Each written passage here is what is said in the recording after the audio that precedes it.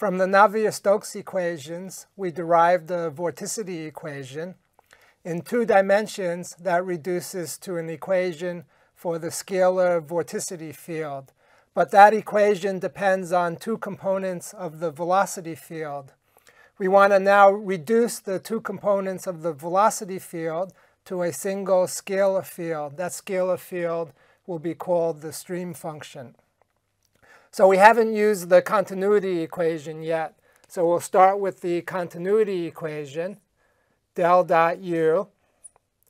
In polar coordinates, that's 1 over r, um, ddr of r u r plus du theta d theta. And we know that this is uh, equal to 0 right, for a incompressible fluid. So we can replace now the velocity field by a scalar field, that's called the stream function, in order to um, directly enforce the zero of uh, del dot u. So how do we do that? Well, we can let this r u r equals the partial derivative of a stream function uh, divided by theta so that we have a mixed partial derivative here.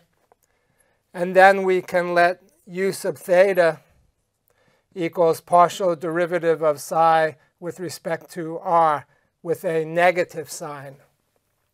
So then the sum of these two terms will be the sum of the two mixed partial derivatives with one that has a negative sign. This psi then is called the stream function.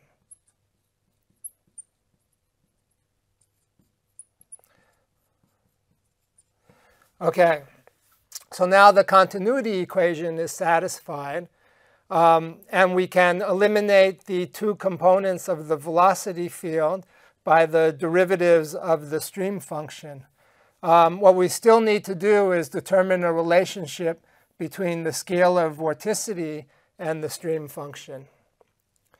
So the scalar vorticity, omega, is uh, in polar coordinates is 1 over r times ddr of ru theta minus dur d theta. So we've already derived the scalar vorticity in terms of the two components of the velocity field, but now we want to replace uh, u theta and ur by the stream function. So this is 1 over r d dr, and then r u theta is using this second uh, definition here. r u theta then is minus r d psi dr minus dur d theta. So ur is 1 over r d d theta. So minus um, uh, d d theta. And then this term ur is 1 over r. So 1 over r um, d psi d theta. Okay? It looks a lot more complicated than it is. So we can factor out a um, 1 over r.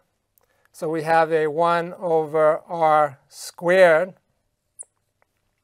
And then we need to multiply this by r. We also have a negative sign. We can factor out the negative sign and the um, 1 over r from inside here.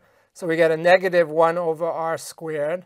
And then we put in the r from here. So we have an r d dr, and then an r d dr of psi.